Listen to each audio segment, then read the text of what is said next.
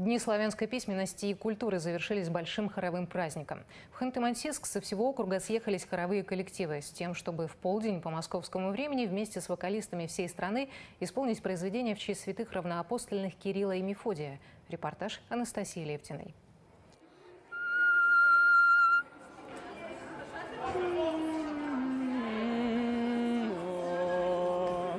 Распевку Дианы Телепневой не выдерживает микрофон. Голосовой диапазон 13-летней певицы от первого альта до первого сопрано. Сургутская звездочка занимается вокалом с трех лет. Пела в детском хоре России, участвовала во многих международных и российских конкурсах. Сегодня у Дианы песня с ведущей ролью. Солистки подпевают полторы сотни участников сводного хора «Югры».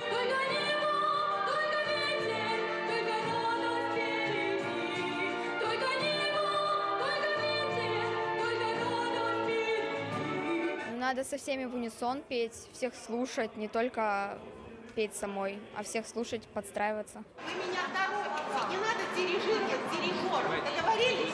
Идти по руке.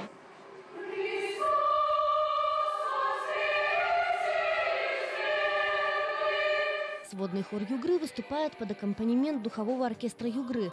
Музыканты сравнивают хор с единым живым организмом, работа которого должна быть слаженной, чтобы песня звучала в унисон. Это последние репетиции перед началом хорового праздника, который по традиции начался одновременно во всех столицах регионов страны.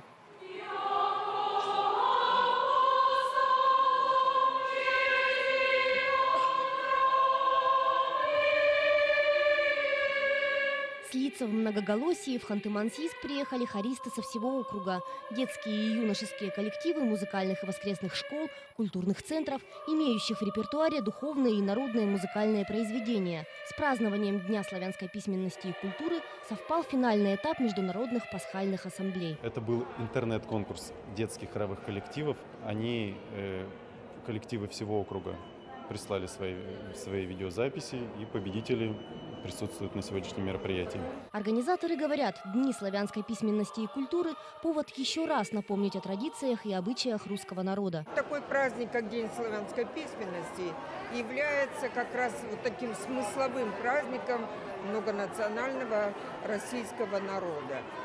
Еще Федор Иванович Тютчев говорил о том, что можно соединять, спаивать нас железом и кровью, а можно любовью. Так вот, эта любовь и лежит в основе вот таких замечательных всенародных праздников.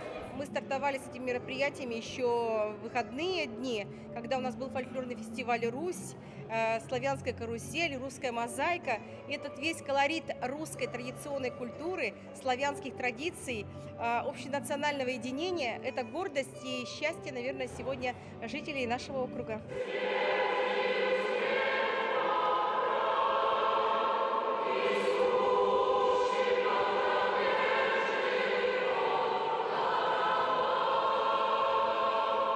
Тропарь, пасхальный гимн и другие православные композиции. Концерт на площадке Кафедрального собора Воскресения Христова посвящен духовной музыке.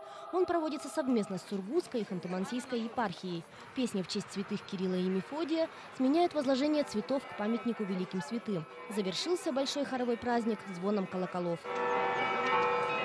Анастасия Левдина, Александр Шулдиков, телекомпания «Югра», Ханты-Мансийск.